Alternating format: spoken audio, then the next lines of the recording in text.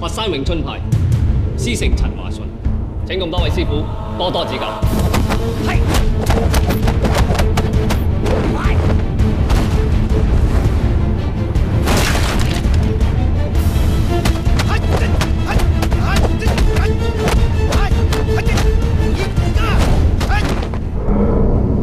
你識唔識規矩嘅？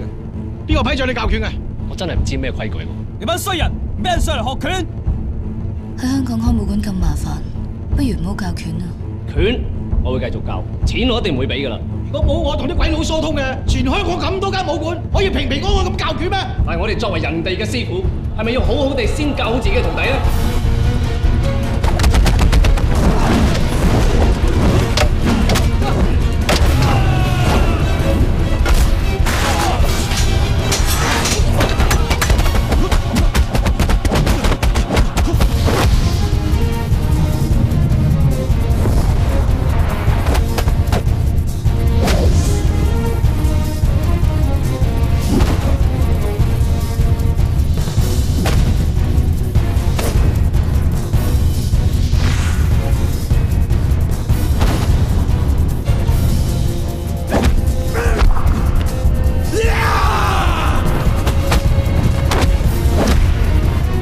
生活我可以忍，但系侮辱我哋中國武术就唔得。